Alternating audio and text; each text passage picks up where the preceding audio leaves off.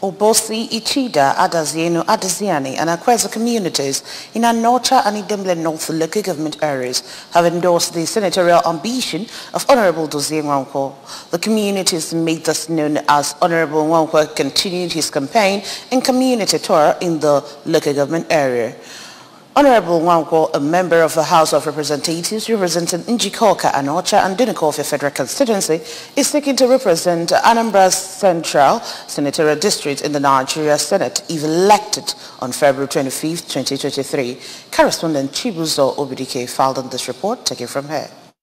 Arrival to each of the communities. Honorable Nwankwo was received as a hero with songs of praise and shouts of jubilation. Speaking at Obosi, the Anambra State Commissioner for Works, Mr. Ifeanyi Okoma, called on the electorate to support Honorable Nwankwo's senatorial ambition, as according to him, he is well prepared to bring about total change and development to the zone. The Works Commissioner warned the people against money-backed politicians who will buy their votes with a token and subject them to suffering for the next four years. A community chieftain in Ichida, Ino Posh Chekozie, said that having unity of interest in the state and federal level is key to the continuous development of the state, calling on voters to support and enhance the development of the state by voting for APGA candidates come February and March general elections. At Ichida and Adazienu, some traders, including Mrs. Onyinye Ezenwa, Cecilia Ume, and Chief Simeon Ezude, showered praises and appreciation to the federal lawmaker and affirmed that his people-oriented policies and programs within his time in Federal House of Representatives touched their lives and businesses individually. They recalled how he had visited them unannounced in the market and brought them phones, which helped them to grow their businesses digitally and build different impactful infrastructural projects.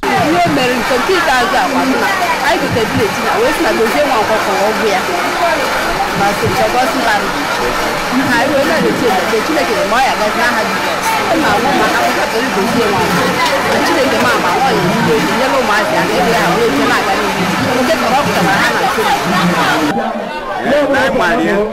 ee eh, na anyị wee ya jee gbagharịbazie na oluo na 22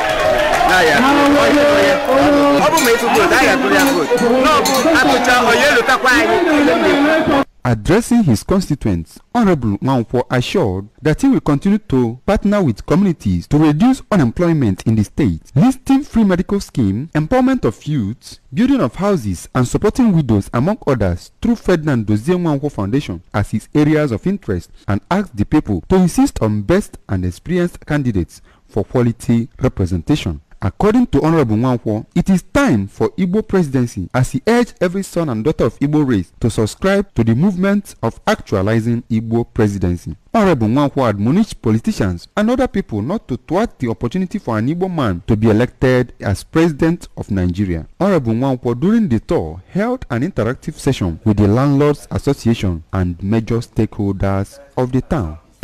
ọrụ anyị na-aga Abuja ime bụ eji na-achị obodo maka ọdịmma naijiria ọrụziokwu ụwa na-anyị ụmụ na-anyị ncha niile na ndị igbo anyị a na-emegbu anyị emegbu na-akpagbu anyị akpagbu. Ife a na-anyị ụmụ bụ unu mee ife anyị ji bụ ndị igbo. Maka ndị igbo chineke ga-echeta anyị na nke a na-abịa. Arụkọmifu na-egwu na chineke ga-echeta ndị igbo na elekshọn nke a na-achị ime n'aha jizọs o mechara nwanne ya nwoke ọ na-emenwu na nke a na-abịa 25th atụchagharịa ka wee cheta anyị maka anyị ga-enye aka wee dozie naijiria